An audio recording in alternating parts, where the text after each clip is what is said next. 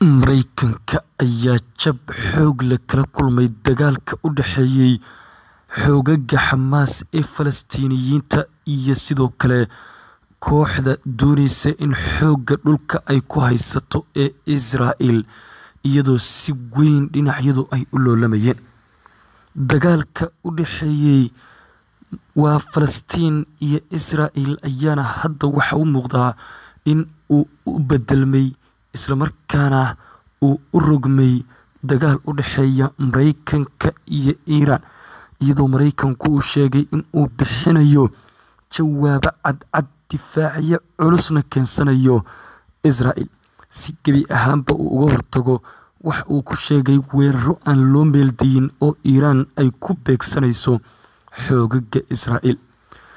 Jamhuuriyadda Islaamiga ah ee Iiraan ayaan iyadu ilaa iyo hadda jawaab ka bixin eedaha gaarka ah ee uu soo jeedinayo Mareykanka.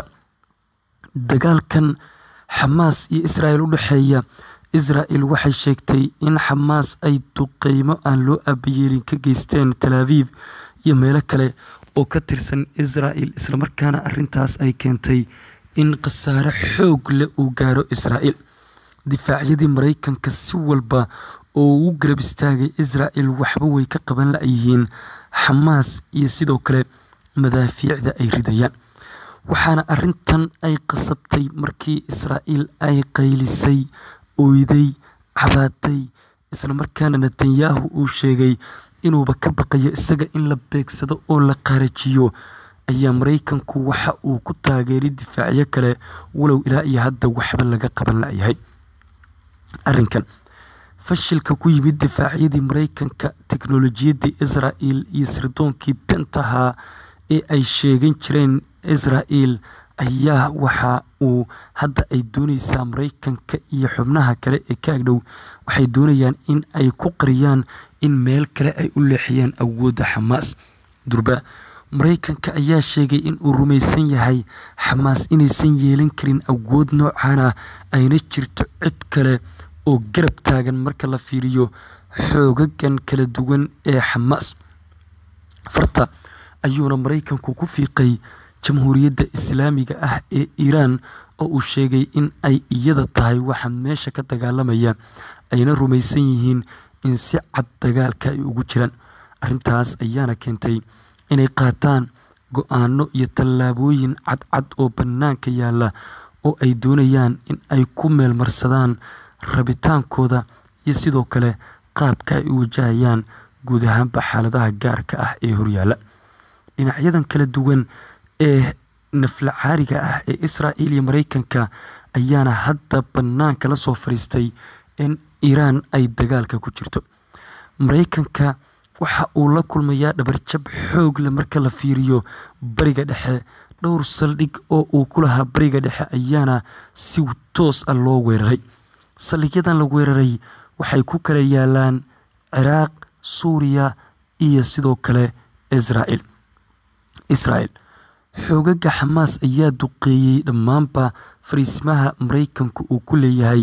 Mareykankuna dhankiisa garab istaag bannaanka yaalla ayuu u sameynayaa dhankaas iyo marka la fiiriyo ee waa Yuhuudda.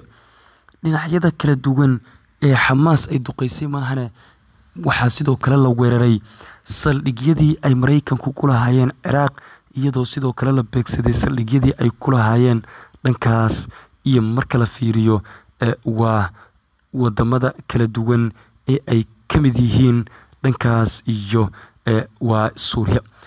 Mareykanku marka arkay xaaladda uu Bariga Dhexe ka wajahayo ayuu sheegay in Bariga Dhexe uu geynayo gadaalladiisa difaaca ugu muhiimsan. Wuxuu isagu ku marmarsiyoonayaa isla markaana uu iska dhigayaa in la weeraray saldhigyadaasi balse waxay xaqiiqadu u muuqataa in ay doonayaan in Israel ay geeyaan hub culus iyo sidoo kale dhinacyo difaacyada ah kuwaas oo ka qayb qaadanaya wax walba oo dhinacyadu ay qaadanayaan.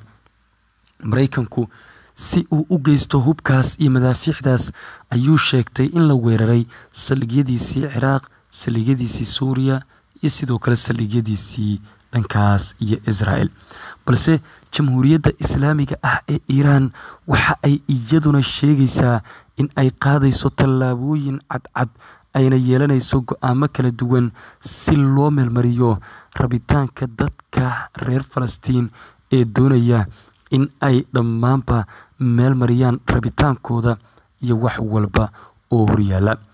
Xoogaga reer falastiin ayaana isku diyaarinaya in iskuday walba oo maraykanka iyo israel ay sameeyaan ay uga jawaabaan si dhaqso ah iyo si deg deg ah.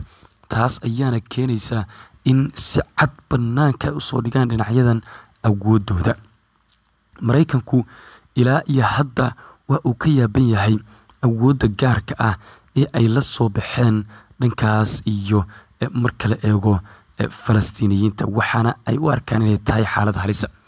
Wax walba waxaa ka daray oo si cad arintan bannaanka u soo dhigay maraykanka iyo israa'iilna ay ka caroodeen xogayaha guud ee qaramada midoobay antonio guteres antonio guteres waxa uu sheegay in dadka reer falastiin muddo dheer ay cabursanaayeen in muddo dheer xuquuqdooda asaasiga ay la-aayeen in muddo dheer ay dhibanaayeen wuxuuna sheegay in la joogo xilligii ay falastiiniyiintu heli lahaayeen dowlad rasmiya isagoo ka digay in dhibaatadu ay sii xoogaysato.